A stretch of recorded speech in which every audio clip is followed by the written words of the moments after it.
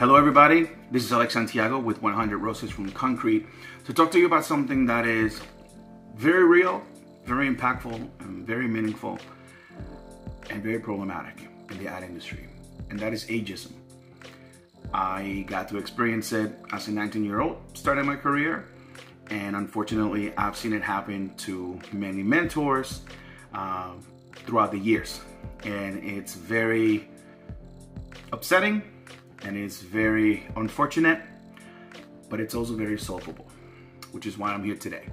Because 100 Roses from Concrete is proud to announce Growth Initiative Take 2, which is a 12 week mentorship program designed specifically for folks 40 and over who are ready to give a switch into their career in marketing, advertising, public relations, media, etc.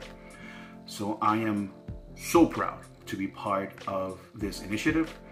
I'm really, really happy about the fact that we've decided to tackle this head on and try to introduce solutions that other people can take action with down the road, if not join us in the cause in the first place. So I'm hoping that you consider it. We're looking for both participants and mentors. And if you want more details, we have information sessions coming up.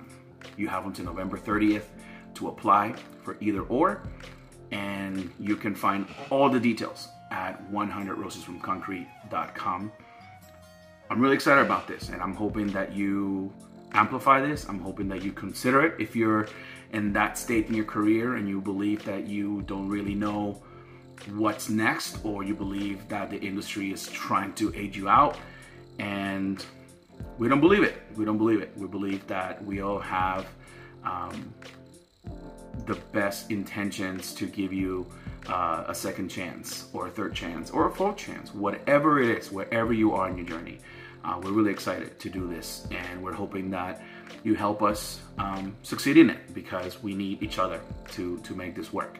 Uh, we need everybody to be active participants. So 100, 100 roses from concrete.com please um, go check it out and share with your friends. Thank you. Have a good one.